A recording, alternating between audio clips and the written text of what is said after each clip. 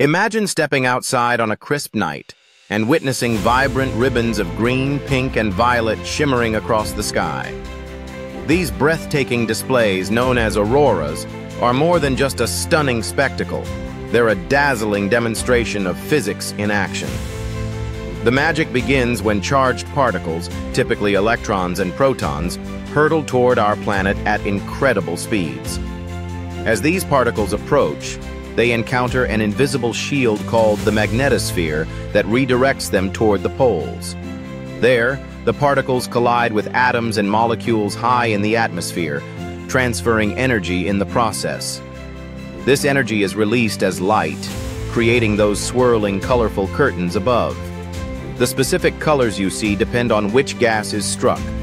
Oxygen gives off green and red lights, while nitrogen glows blue and purple. Auroras can stretch for thousands of kilometers, dancing and shifting as the particles interact with the ever-changing atmospheric conditions.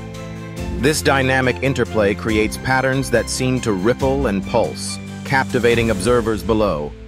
It's a nightly ballet powered by unseen forces, turning the sky into nature's own mesmerizing light show.